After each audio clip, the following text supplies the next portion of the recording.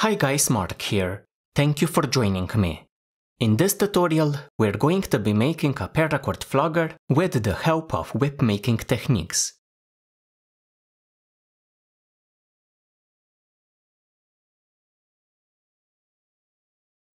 We begin our project by setting up the core for our handle. In my case, this is a metal pipe, but you can also use a dowel rod or a metal rod instead. The diameter is 3 quarters of an inch and the length is 6 inches. This is enough for a nice compact handle. For a longer one, like this one here, use 8 inches for your core. To hold your pipe or rod in place while you're plaiting over it, place it into a vise. Alternatively, drill a hole into a piece of wood at a bit of an angle. Clamp down your wood onto the table and you have a nice, secure way of fixing your pipe in place. For the cordage, I'm going to be using Paracord 550. For my main plaiting and falls, I'm going to be using 4 strands in one color, 4 in the other. Each strand is 8 feet long and I'm going to remove the inner strands out of all of my strands.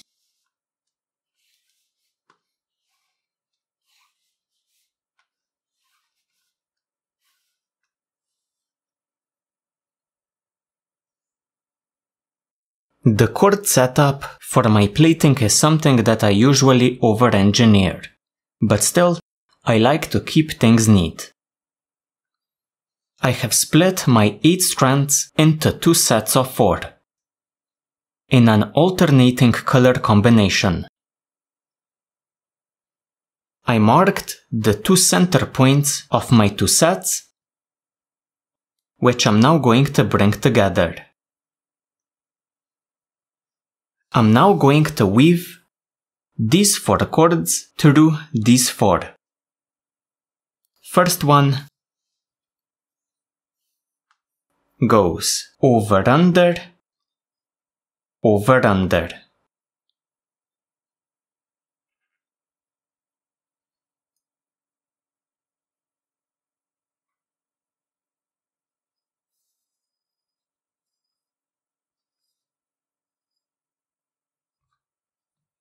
The second one does the reverse. Under, over, under, over.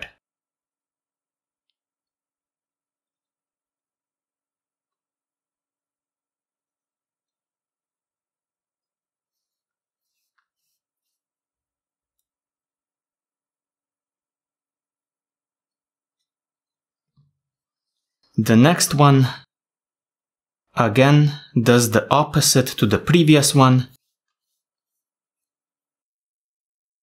Over, under, over, under.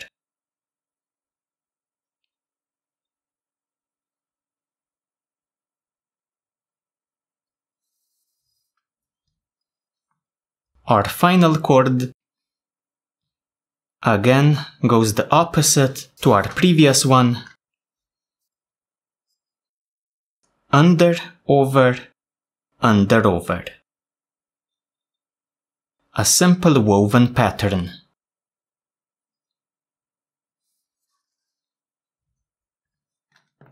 Line all of your strands up.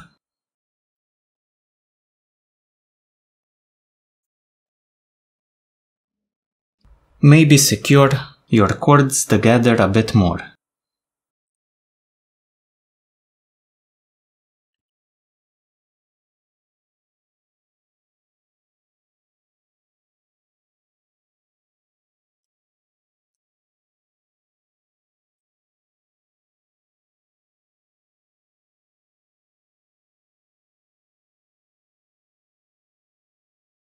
We are going to be plaiting using pairs of strands.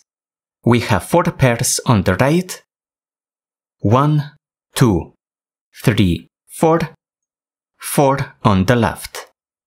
1, 2, 3, 4. We always begin at the top. Top right pair passes behind over the first pair on the left, then under,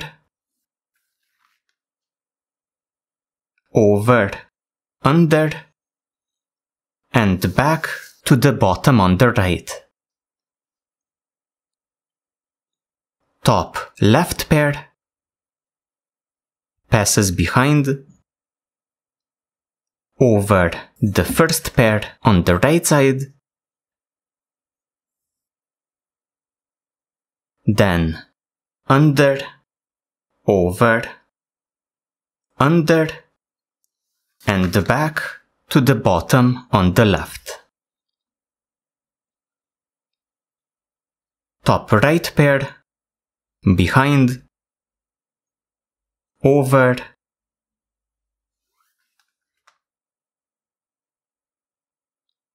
under, over, under, to the bottom on the right. Top. Left pair, behind,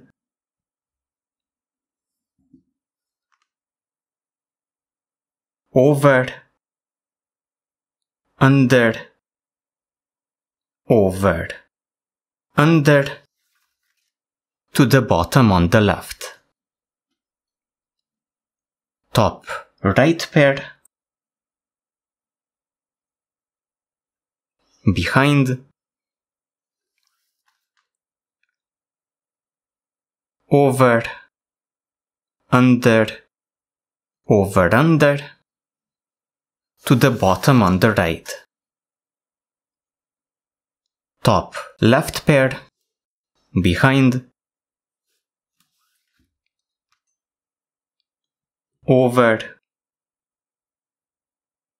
under, over, under, to the bottom on the left. Top right pair, behind, over, under, over, under, to the bottom on the right. Top left pair behind, over, under, over, under, to the bottom on the left. So at this point, we have used all of our pairs, both on the right side and on the left, once. For now, do a bit of tightening up.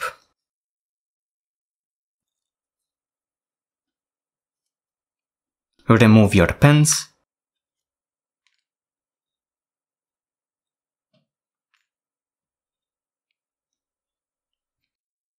Continue tightening up to reduce any gaps in your plaiting.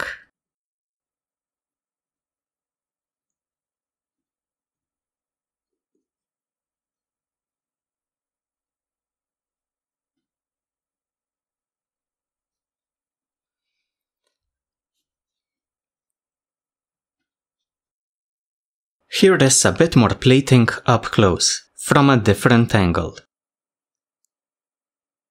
Top right pair, behind,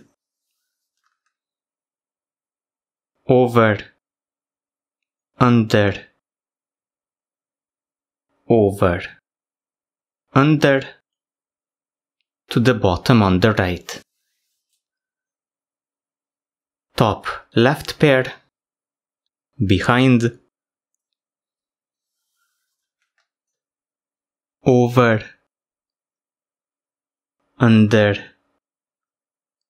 over, under.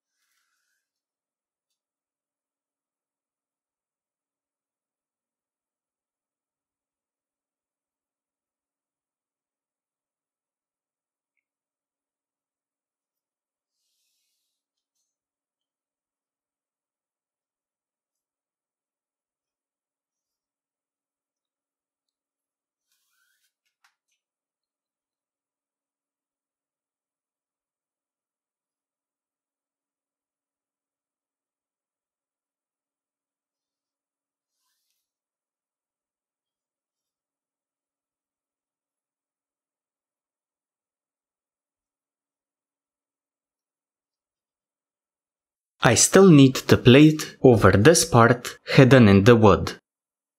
So I'm going to raise it up with the help of a dowel rod or a stick, then continue plaiting over the other side.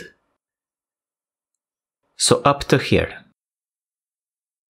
After plaiting to the top of our handle, we are going to secure our plaiting with a binding. Grab a thick piece of thread, place one end facing the top like this.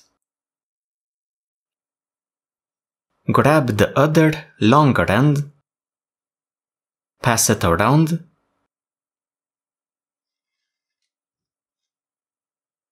and into our opening. Tighten up, position your binding where you want it to be. In my case, let's say here. Repeat the same thing. Around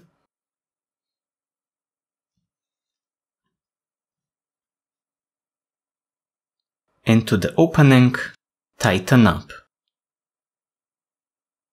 This second pass is going to lock our binding in place. Then simply repeat a number of times. How many? Really depends on the length of your thread and your willingness to do it.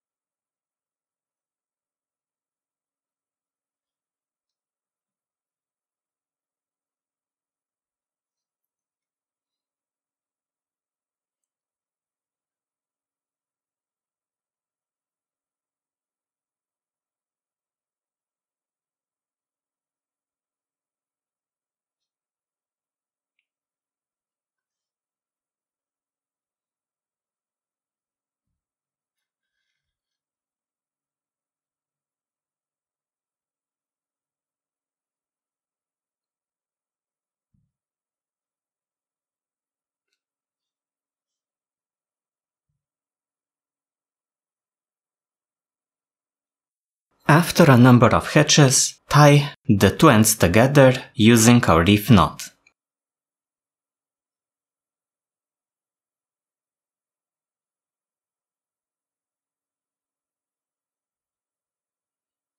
Trim the two ends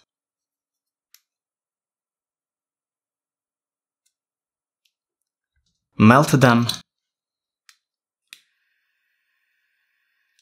and your binding is complete.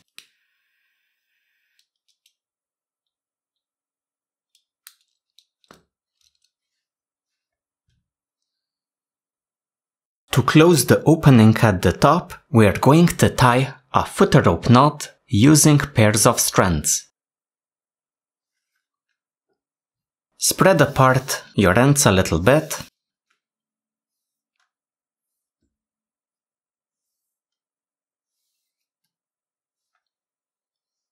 Then tie a crown knot.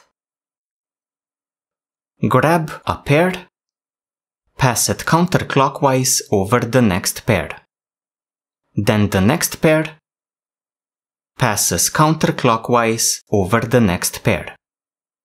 Then the next pair passes counterclockwise over the next one. Repeat this until you reach your final pair.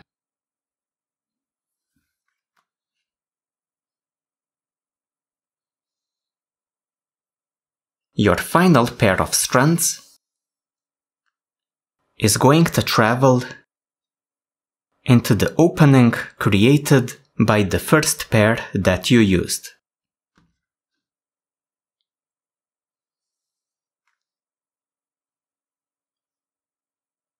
Slightly tighten up by pulling on all of your ends.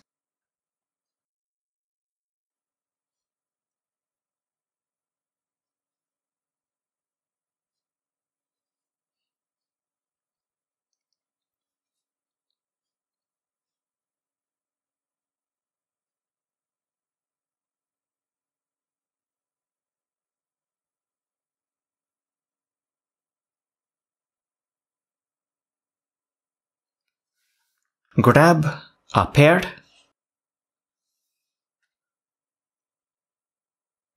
pass it over. A pair coming out of your plaiting, then through the center of your knot.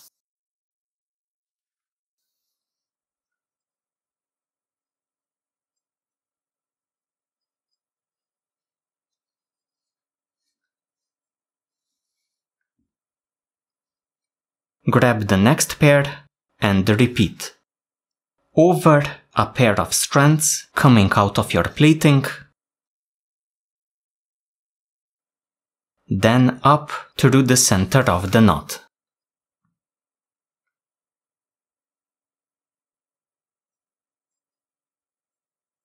Do this with all of your ends.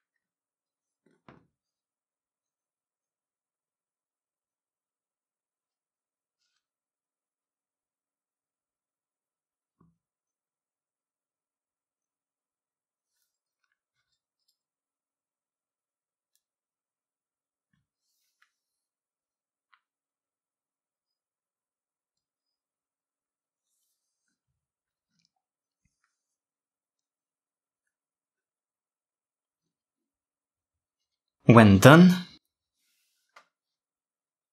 begin tightening up your foot rope knot.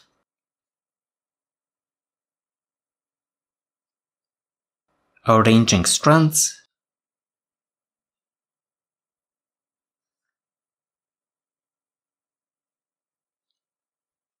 pulling slack from your plaiting into the ends.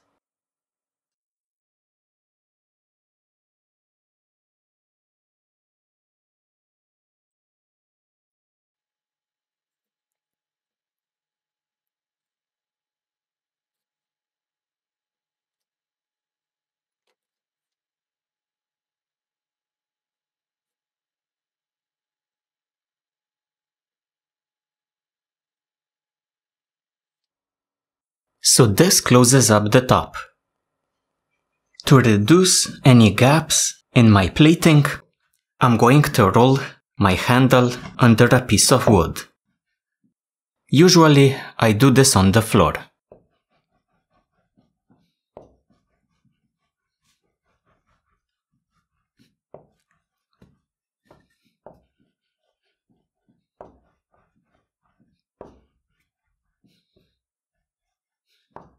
The next step is optional. I'm going to add a leather collar at the top and bottom of my handle. Over these leather collars, we're going to tie our decorative knots later on. The collars basically raise your knots a little bit which looks nice. My leather strip is an inch wide. I'm going to punch a few holes into my strap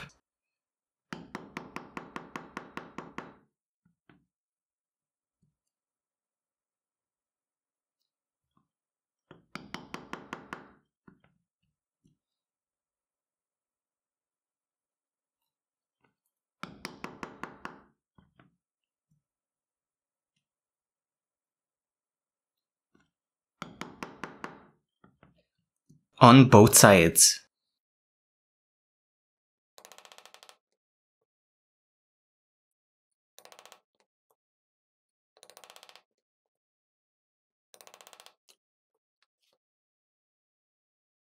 I'm going to saddle stitch my collar into place, threading two needles onto a piece of thread, one to each side.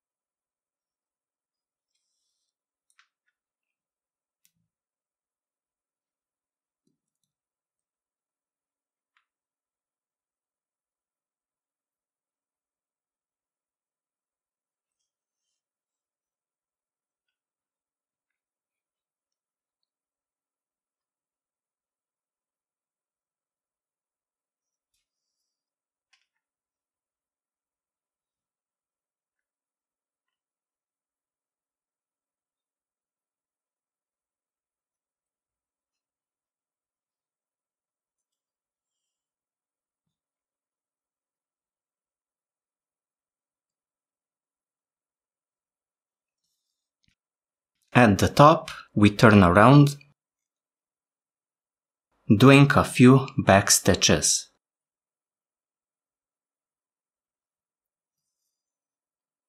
Just to secure the threads into place.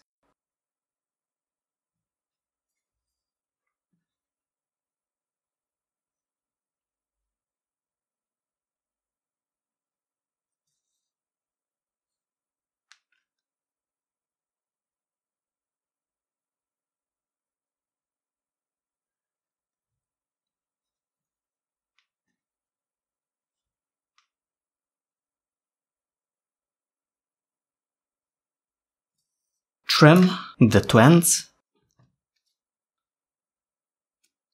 melt them,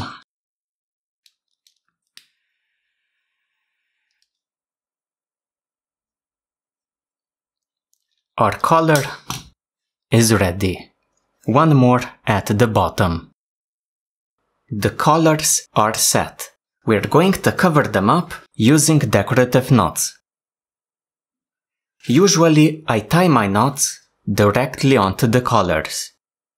To make things a bit easier to see, I'm instead going to tie them on a broomstick handle, then transfer them onto the collars.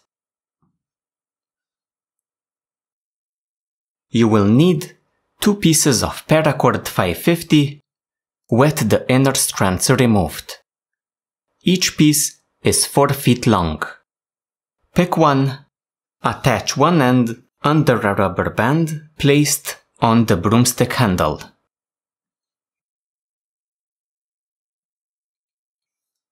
Attach a lacing needle onto the other end.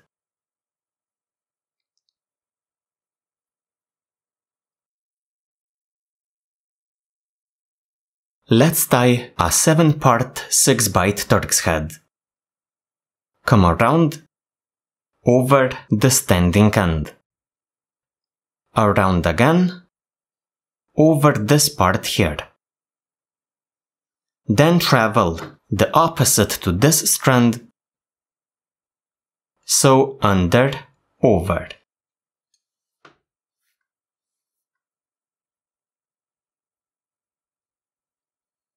double up your standing end, traveling under over. Again, travel the opposite to this strand, over, under, over.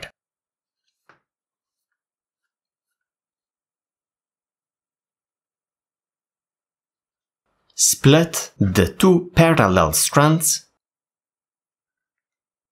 traveling between them, doing the opposite. Over, under, over. And again, the opposite to this strand, under, over, under, over.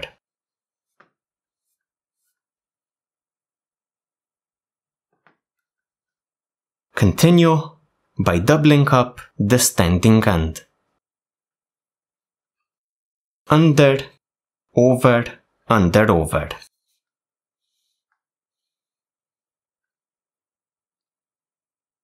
Travel the opposite to this strand here.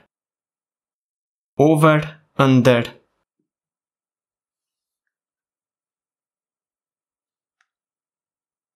over, under over. Split the two parallel strands, traveling between them doing the opposite. Over, under,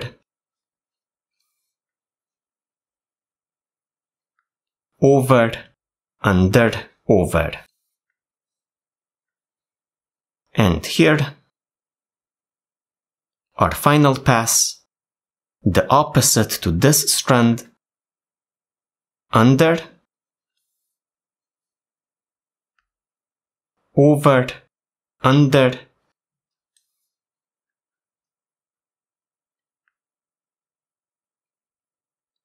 over, under, over. Reaching the standing end, Place your working end next to it. Then to finish up the knot, slide your working end under the knot to the right side. Later on, this will make this end easier to trim. For now, grab a new cord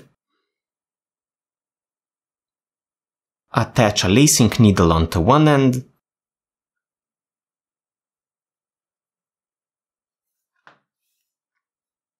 slide the standing end next to the first one, then double up your knot, following the standing end through the entire knot.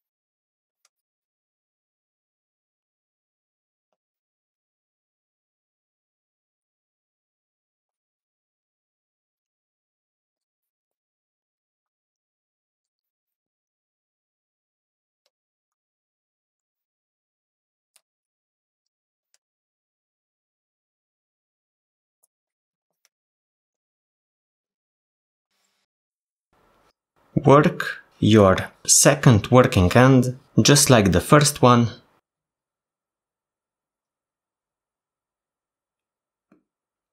Like this. Then under the knot all the way to the right.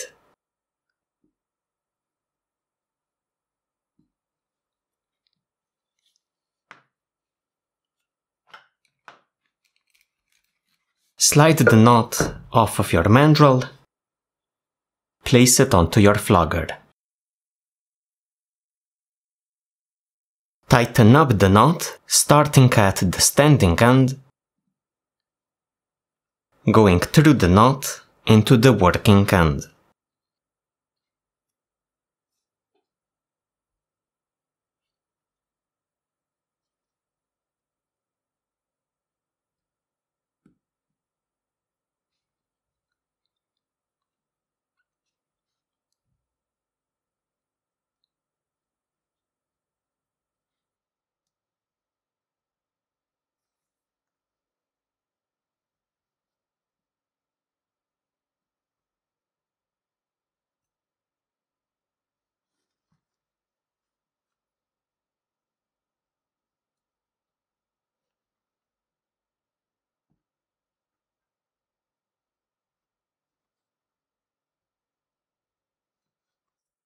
Trim the ends as close to the knot as possible.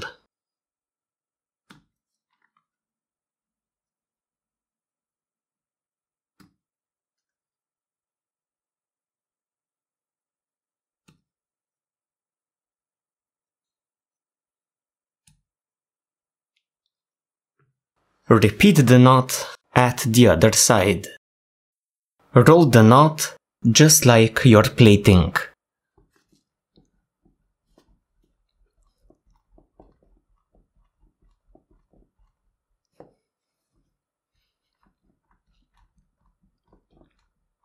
With the handle done, let's move on to the tails. I'm going to do a bit more tightening on the stop knot.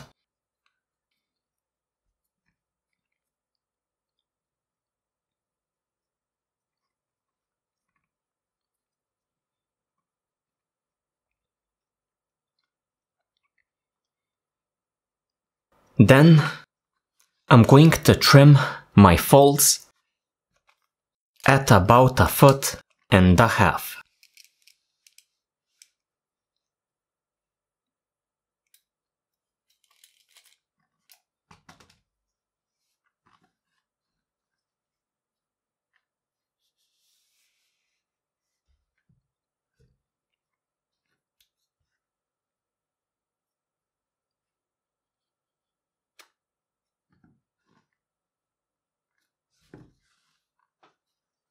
For the folds, you can do all types of knots and setups. Here is what I'm going to do. I'm going to tie an overhand knot.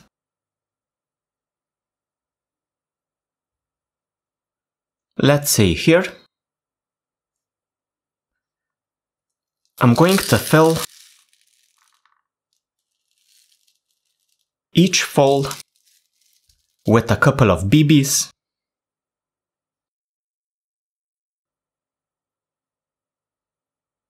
pushing them all the way to my knot.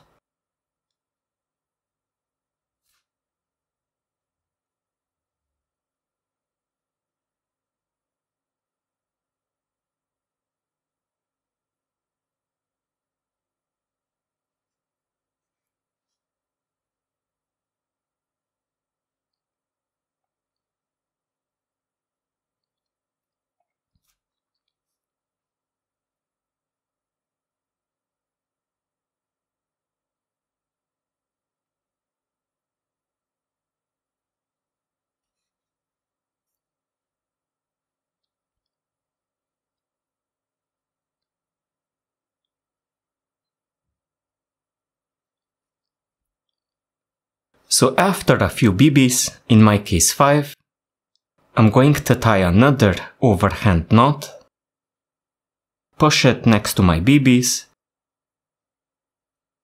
and one of my folds is done. I do this BB technique since I like this look between the two knots. Plus, it adds a bit of weight to the falls. So next fold, same thing.